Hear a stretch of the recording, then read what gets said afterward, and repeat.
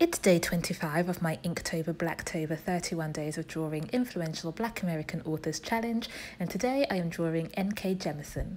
Nora Keita Jemisin was born in 1972 in Iowa. She is probably best known for her Broken Earth series, which made her the first person to win the Hugo Award for Best Novel three consecutive years in a row, and the first person to win it for all three books in a trilogy. Jemisin used her influence as a successful author to condemn the 10% of science fiction and fantasy writers of America members who voted for alt right writer Theodore Beale in his bid for the SFWA presidential position. Beale's response to Jemisin was condemned as an appallingly screed, and he was subsequently expelled from the organisation after a unanimous vote by the SFWA board.